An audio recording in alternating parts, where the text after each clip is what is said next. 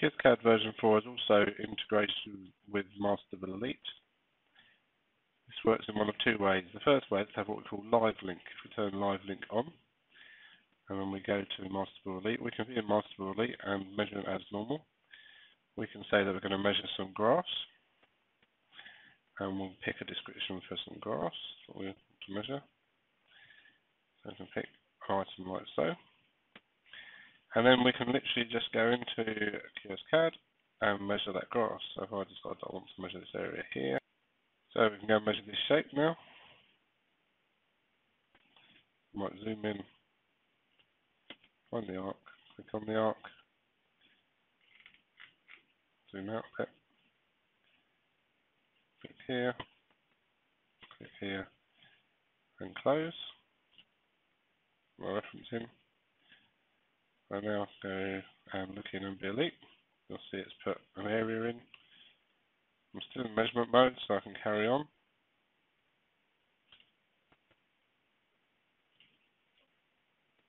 Like so. Scrolling down here.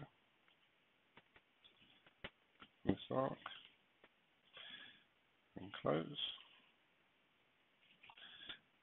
And one more.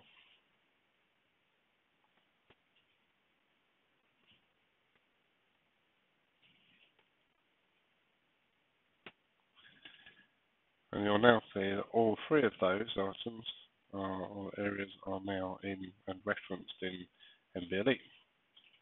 So in here I can just simply save it as I would normally would and move on to my next dimension. That's Live Link.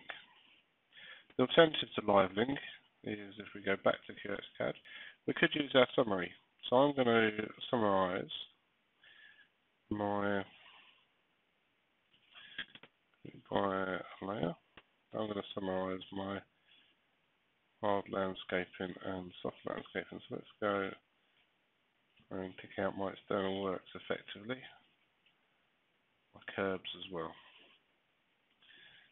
And you'll see here I've got a dynamic report and I've got a summarized view at the moment. I don't have to, it could be a full detailed view or a summarized view. And I'm going to export these to MB Elite they will go into the element that I'm currently in, unless, of course, I set it separately before I send it, which you can also do in QSCad. So I now go back into MB Elite, let's close this report, and go back into MB Elite, and go back into my store, you'll see those items have all been sent across. And Master Elite has a feature that allows us to match descriptions. So I can match QSCad descriptions and I can match it back to a previous project that I've previously used QSCad descriptions on. I'm going to go to CView House and pick up my external works and ask it to match to there. So you'll see it's now picked up a description for the curbs, it's picked up one for the drop curbs, it didn't match the edgings, but it's got the turf and the straight curbs. I go to back to Edgings then, obviously I want to put description against those.